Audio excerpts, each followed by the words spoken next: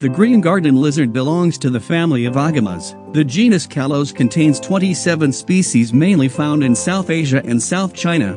Belonging to the family of Agamas the genus Calotes can be distinguished by uniform-sized dorsal scales and lacking a fold of skin extending between the cheek and shoulder.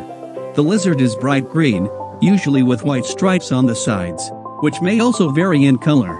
For example, a darker green and can continue on the tail as well. The male develops a bright red coloration on the head and throat in breeding season otherwise the head is just bright green or more yellowish green to brown in males and females. To a certain extent, the animals are able to change their color. This is especially true for the males in the mating season but also stress or excitement has an influence. The green garden lizard is one of the most colorful reptiles in Sri Lanka. The lizards prefer gardens and forests. We find them very often in the tea plantations where they camouflage themselves incredibly well and are difficult to spot.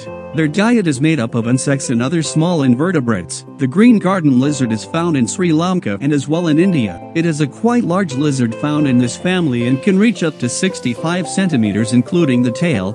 The tail is quite long and slender, the body compressed but with long limbs.